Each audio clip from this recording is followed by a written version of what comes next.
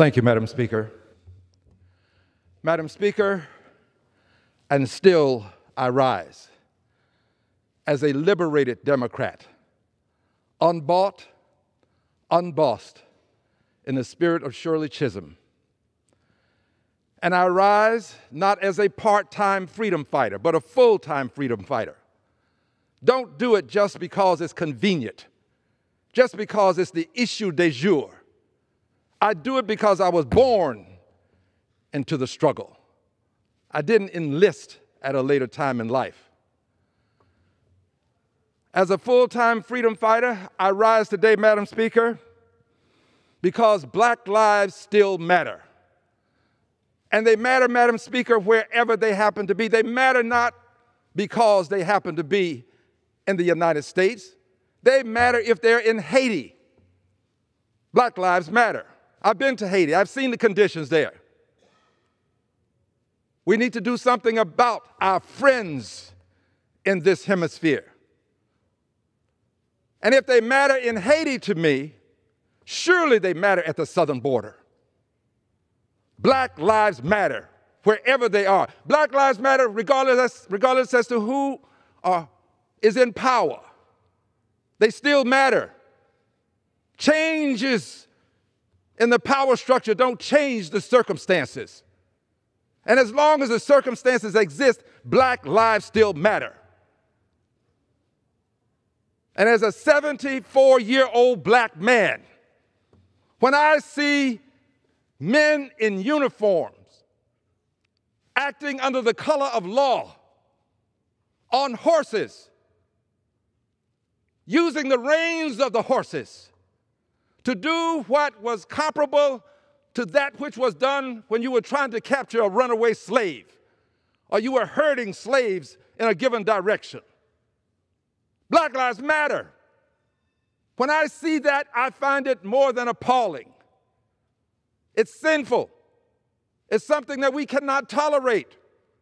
And you just can't say, well, the circumstances are so bad that we have to use horses now to run down black people. Black Lives Matter. That kind of behavior is intolerable. And when I see it, I'm going to speak up and speak out. So here's what I'm going to do about it I'm not just going to say Black Lives Matter, I want justice for the Haitians.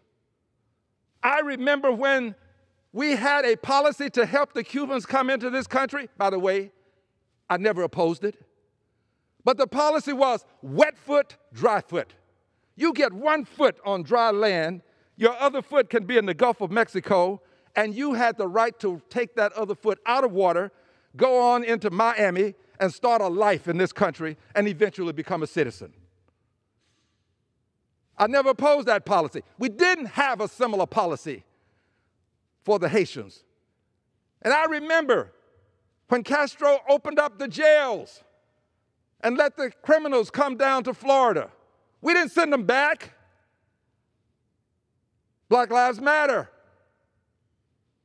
It's not just a slogan for me.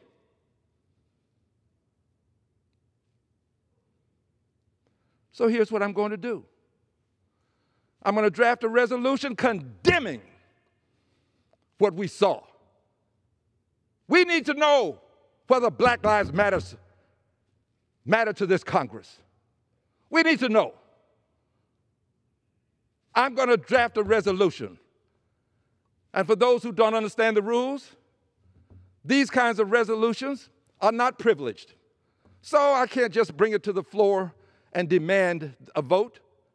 So I'm going to ask that it be allowed to come to the floor because Black Lives Matter. And we need to vote. We need to know where people stand on the great issues of our time. This is an issue of all time. It's not just today. We need to know where people stand.